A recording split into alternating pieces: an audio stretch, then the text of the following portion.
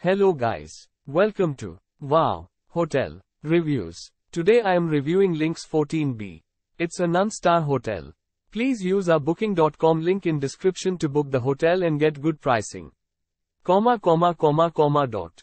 Located in Hilton Head Island and within a 12-minute walk of Folly Field Beach Park, Links 14B features a garden, non-smoking rooms, and free Wi-Fi throughout the property.